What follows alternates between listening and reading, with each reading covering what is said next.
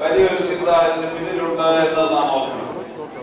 നമ്മെയും സർവസൃഷ്ടിയെയും കാരുണ്യവാനായ കർത്താവിന്റെ മരണവും കബറടക്കവും രക്ഷയിലേക്ക് നയിക്കുന്നു എന്ന ബോധത്തോടുകൂടി കർത്താവെ ഞങ്ങൾ